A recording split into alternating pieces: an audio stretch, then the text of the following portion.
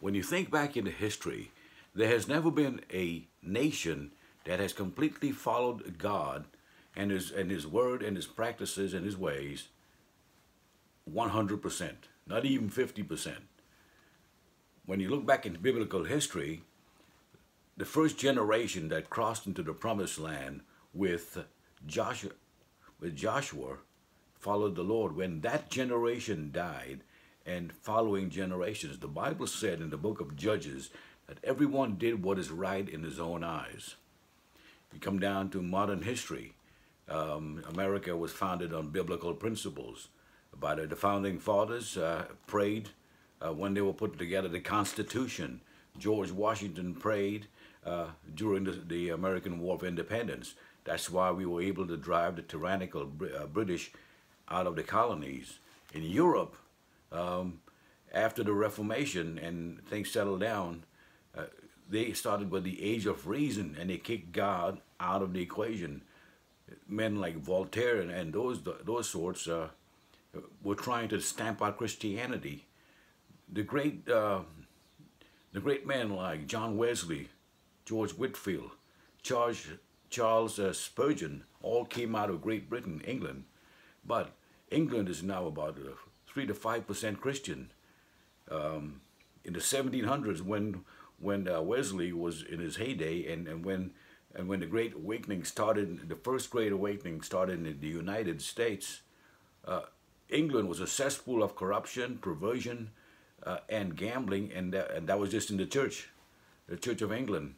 So, how do we pray for a nation to right its course? Now, we many of us have been praying for a great awakening, a revival, and for, for decades and decades. And I've been in, uh, in a popular revival here and there where you see like an entire county transformed or, or city or community. But how about on a national level?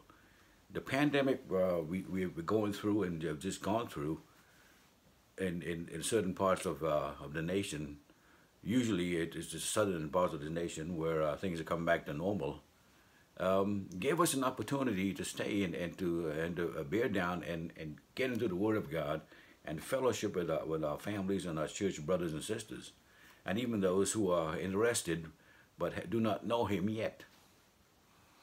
Um, how do we pray for uh, for a nation to repent when they don't know what repentance is, when they don't know they've sinned, when they don't even care that they've sinned? Well, as, as men and women of God, we should care. And we should also uh, bear down on God's word and stay on our knees until the Lord calls us home and we have accomplished uh, the task that He sent us here for. Because everyone has a calling uh, on his life. Uh, not necessarily to be a missionary or a preacher or anything, but we have a calling to do what we can. And, and the easiest thing we can do as men and women of God is to pray for our nation, uh, which has gone astray and uh, especially the Western world, which has turned from the one true God of the Bible. Uh, Second Chronicles, uh, chapter seven, verse fourteen, is used a lot by by many of us in the prayer movement. But today we're going to look at a prayer of Ezra, uh, when when he had uh, when the, the Israelites had come back from Babylonian exile and had sinned in the sight of God by marrying not foreign women in the sense of women from another country, but foreign as in gods. You cannot mix God with, with paganism. You cannot mix the God of this world uh, with people from other religions and then expect not to corrupt.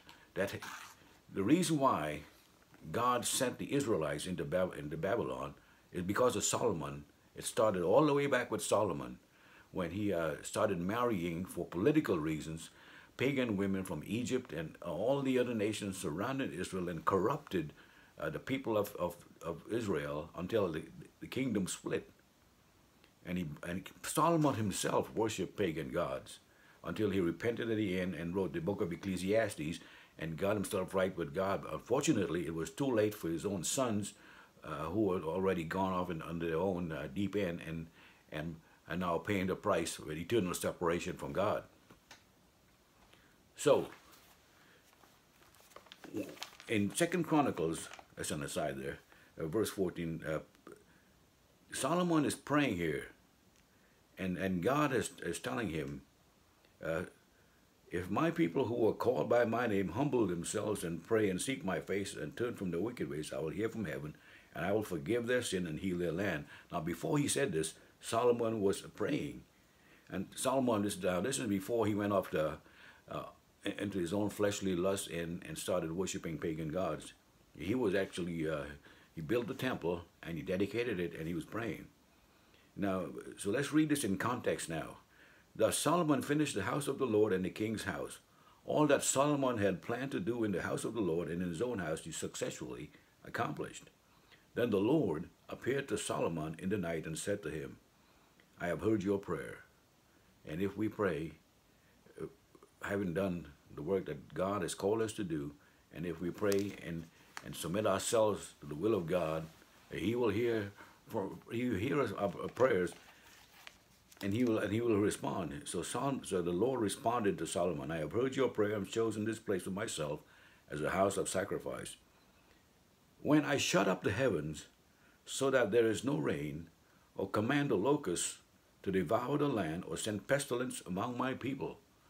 And there's a pestilence right now, and it's not just a virus. It's a pestilence of sin, and a sin that uh, that has started um, among the people, the people of God, uh, political leaders, governors, uh, leaders, mayors, e- even some uh, church leaders.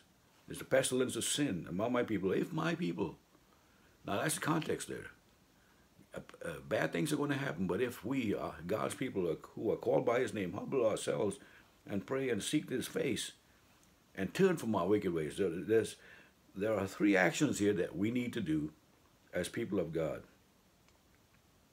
Humble ourselves before Him. That means realize that He is God and we're not, and we're sinners. And pray. So humble, pray, and seek.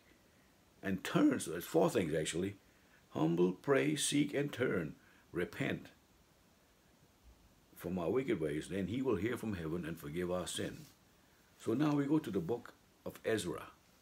The book of Ezra, Ezra is, is, is a great man of God. He came back from the Babylonian exile, and, and Zerubbabel had rebuilt the temple.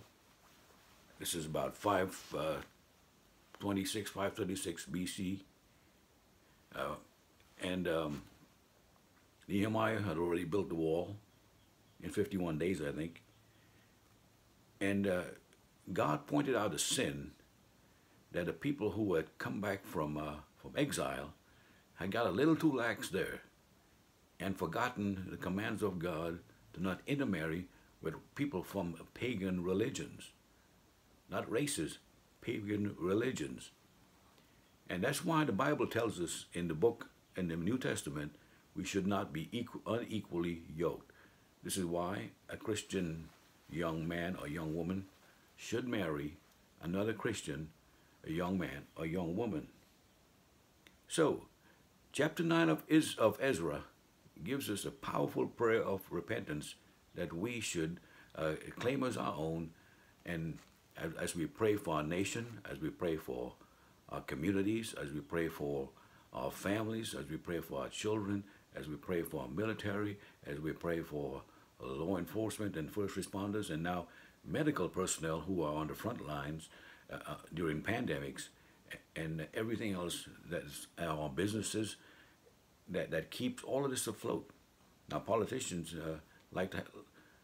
Anyway, let's not get into politics right now. Um, so, in the context of Ezra chapter 9, he is now found out the big sin and the violation of God's law that uh,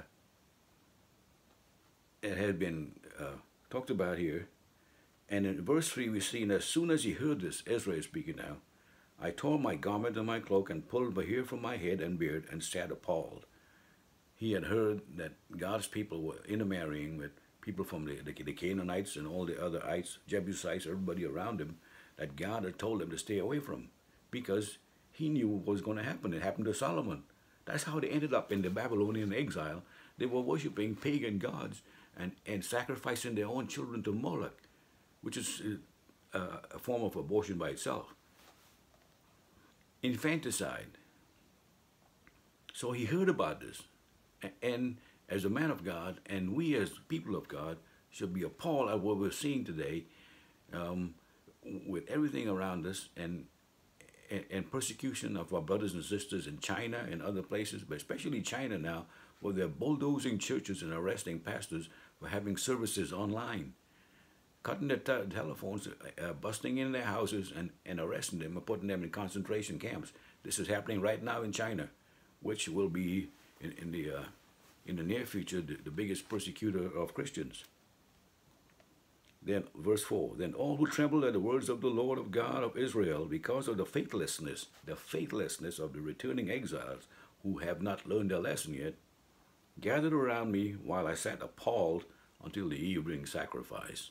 Now, the evening sacrifice was, was, was uh, prescribed in the book of the law, in the Leviticus, and uh, it was supposed to be a morning and evening sacrifice and prayer to Almighty God. And at the evening sacrifice, I rose from my fasting with my garment and cloak and fell upon my knees and spread out my hands to the Lord my God, saying, Now here he is. He heard, he heard about the big sin and violation against God's law from, uh, from, the, from earlier on, which was given to Moses by the Lord Jesus Christ. And he fell down on his knees and he spread his hands before God oh, that we would have that sort of uh, pain and anguish uh, for the sin, not just of our people, but for our own sin and for those of our families. And here's what Ezra prayed Ezra prayed, Oh my God, I am ashamed and blush to lift my face to you, my God. For my iniquities, for our iniquities, have risen higher than all, higher than our heads iniquities. Now, sin is just missing the mark. Iniquity is one step beyond across the line. And transgression is complete rebellion against God. When King David had uh, lusted after Bathsheba, had committed adultery, and broke the chain of the Ten Commandments, because when, once you break one, you break all, and then have uh, her husband Uriah the Hittite killed, he had violated every commandment in, in, in, the, in the, of the Ten Commandments. He had sinned against God. He had basically thumbed his nose against God, and then he had uh, put himself as an uh, and his and his own desires as an idol before God and His Word. And and that kind of rebellion, where you willingly go against everything that you know is right, and thumb your nose against God is, is transgression. Next down is iniquities, where you just uh, you don't care anyway and you're just going to do it, and but still call yourself a, a, a Christian or or a child of God. And he and so he is now a, crying out before God and admitting that they, not him personally, because he had just found out what they had done and the iniquities now is higher than even he could imagine. And then he said their guilt has mounted up to the heavens, and now God had, had set that to be revealed to him, knowing that he, as a man of God, would pray. And if you read, uh, uh, we probably won't have time to get into it in, uh, today, but if you read chapter 10 of Ezra, you will see that the people listened after they had heard Ezra cry out to God like this in this massive prayer here in uh, chapter 9. So he admitted his uh, the sins of the people that he had found just found out, and that it was a vile and foul sin uh, as a disgusting odor in the nostrils of the Lord. Verse 7 From the days of our fathers to this day, we have been in great guilt. And if you think about what happened when uh, when God had freed the, the, the Israelites from Egypt, brought them which is a picture of salvation, across the Red Sea on dry land and in the desert, and they were heading towards the promised land, how they sinned, how they worshiped golden calves, how they were so impatient and greedy and lustful that they turned from the one God who rescued them and turned to evil pagan gods and lust and drunkenness and orgies and turned against him and that guilt was just as uh, bad or even worse than what they were doing here, and they have a history of that. That's how they ended up in Babylon, sinning against God. Now, God sent Nebuchadnezzar, the king of Babylon, to wipe out Jerusalem and, and put it, burn it to the ground because he had to cleanse that city of that vile, uh, that vile sin of, of paganism, of pagan worship. And think about what God's going to do one of these days because the, the book of Revelation tells us what's coming after the rapture of the church and, and Christians are taken out of here because there's, uh, going to be a seven year of seven years of tribulation and it's not going to be easy because um, if you read the book of Revelation, what's coming to those who have disobeyed God, who are not saved, uh, and know Jesus Christ as Lord and Savior, it, it, it should put the scare of God into you and then bring you to a saving knowledge of Jesus Christ. So, from the days of our fathers to this day, to this day, we have been in great guilt.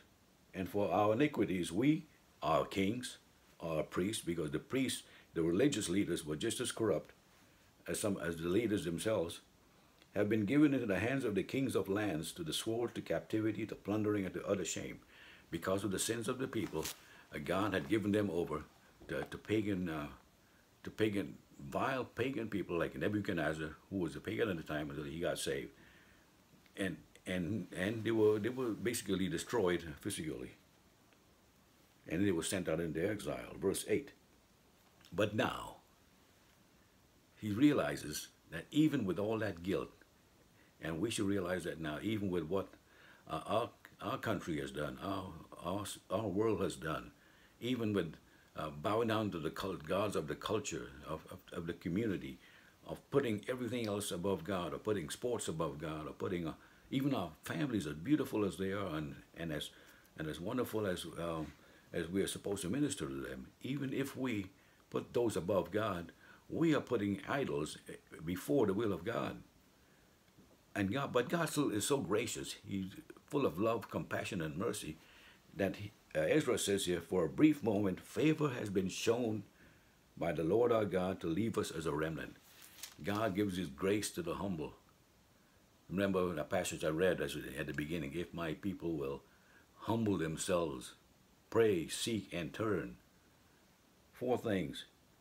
God has given this uh, Ezra an, another chance, here, and he gives us chances after chances uh, that, that, so that we can uh, come to him and just and, and just worship him in, uh, in spirit and in truth.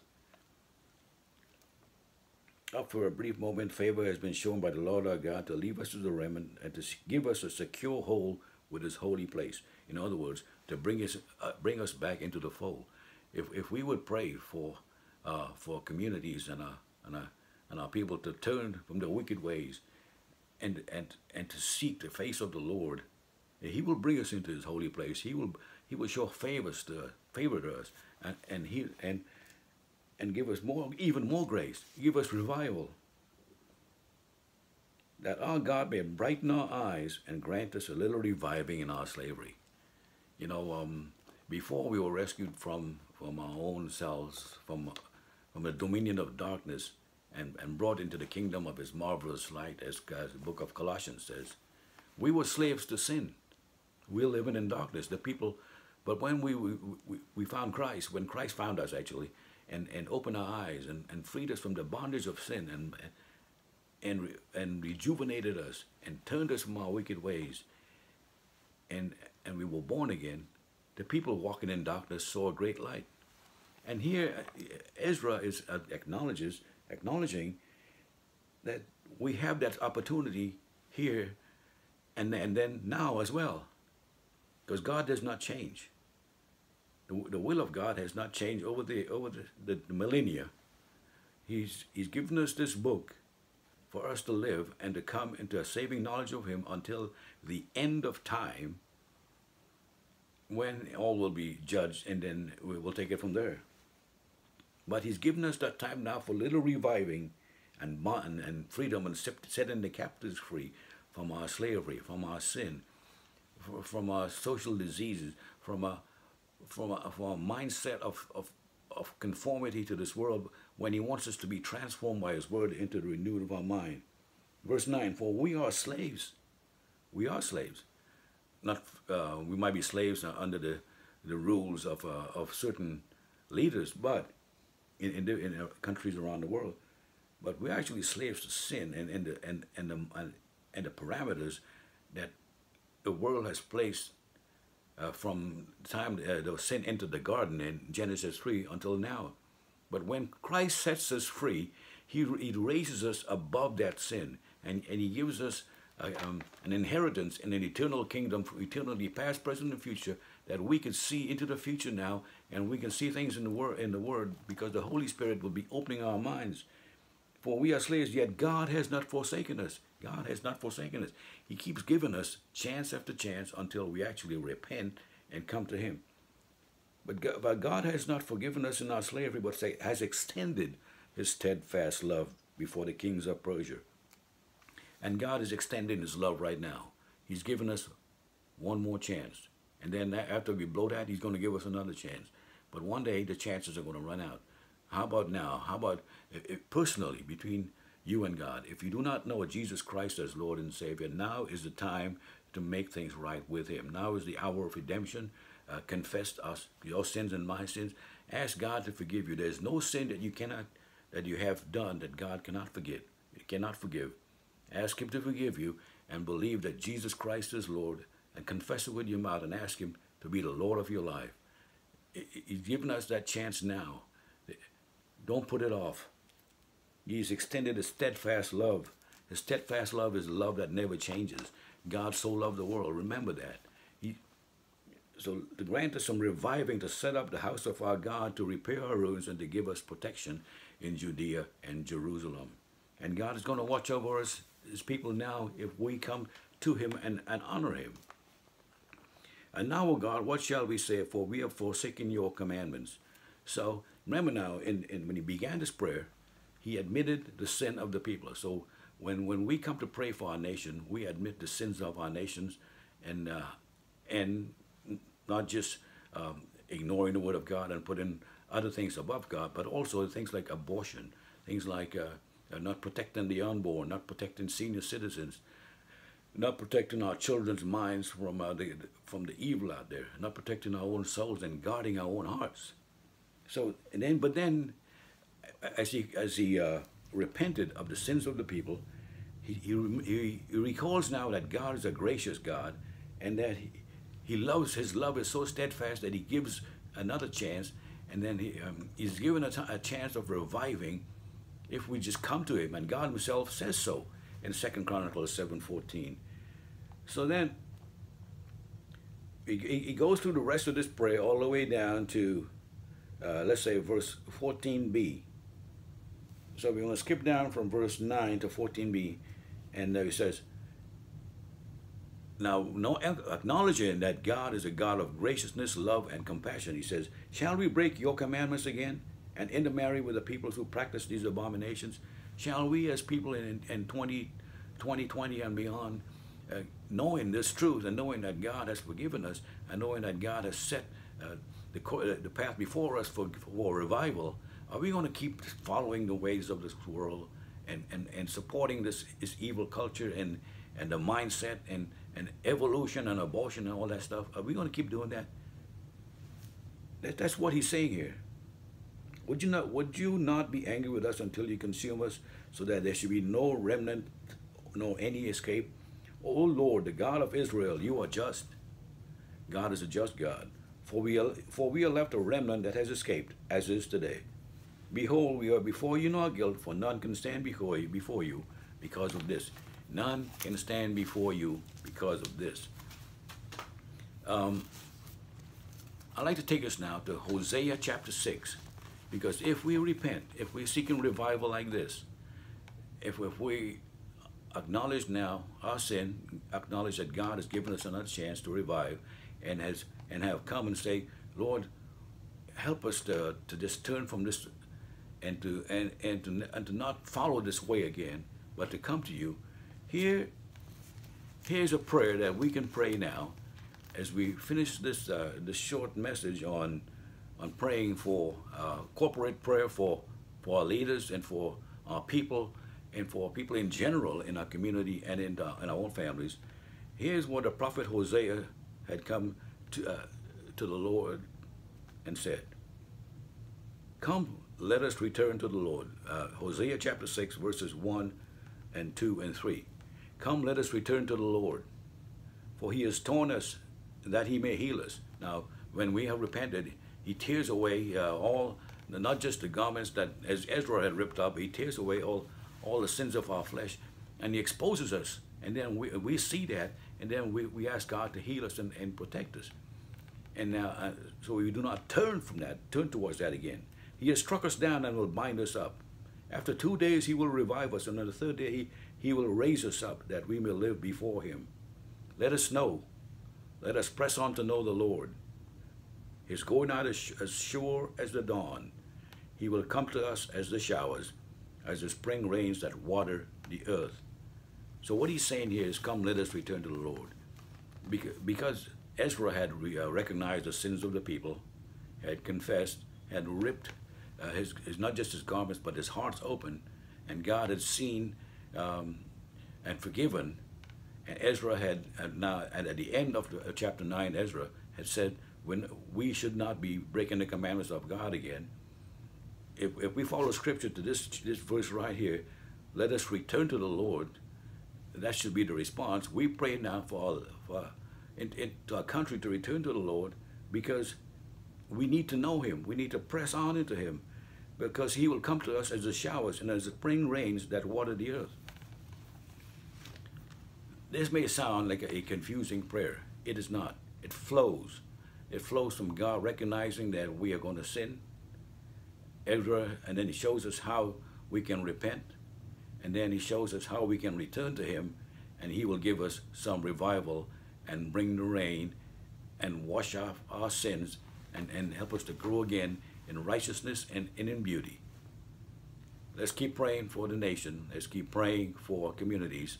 Let's keep praying for all our peoples to come back to the Lord that there may be a revival in our hearts and in our communities and in our churches.